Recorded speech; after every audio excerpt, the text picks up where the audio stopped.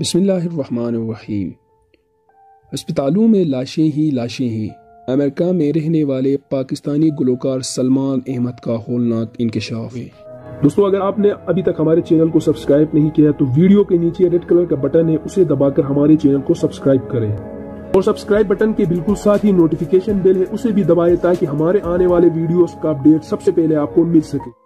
پاکستان کے معروف بینڈ جنون کے گٹارسٹ اور سنگر سلمان احمد نے ہولناک انکشاف کر کے خطرے کی گھنٹی بجا دی۔ گلوکار سلمان احمد نے وسیم بادامی کے پروگرام میں ویڈیو کال کے ذریعے گفتگو کرتے ہوئے کہا کہ امریکہ میں حالات بہت زیادہ خراب ہے وہاں کے مناظر ایسے ہیں جیسے قیامت آ گئی ہو۔ سڑکیں سنسان پڑی ہے اور اسپتالوں میں لاشیں ہی لاشیں ہیں۔ انہوں نے بتایا کہ نیو یارک اس وقت وارجون ہے، جس کی وجہ سے یہاں کرونا کا تشخیص کا ٹیسٹ کروانا انتہائی ہی مشکل ہو گیا ہے۔ گلوکار نے انکشاف کیا ہے کہ وہاں کے لوگوں کو اپنے پیاروں کی تدفین کے لیے بھی انتظار کرنا پڑ رہا ہے۔ واضح رہے، پانچ روز قبل سلمان احمد نے اپنے کرونا ٹیسٹ کی رپورٹ مثبت آنے کی تصدیق کی تھی، جس کے بعد انہوں نے کرنٹینہ اختیار کر لیا تھا۔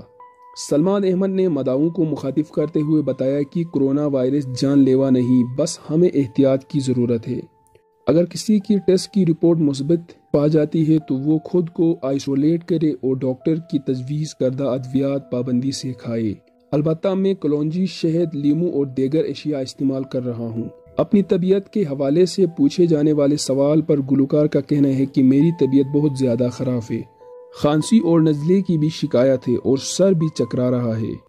مزید اس طرح کے ویڈیوز کے لیے اردو ڈسکور کو سبسکرائب کرنا نہ بھولے اور نوٹیفیکیشن بیل کو پریس کرے تاکہ ہمارے آنے والے ویڈیوز کا اپڈیٹ سب سے پہلے آپ کو مل سکے۔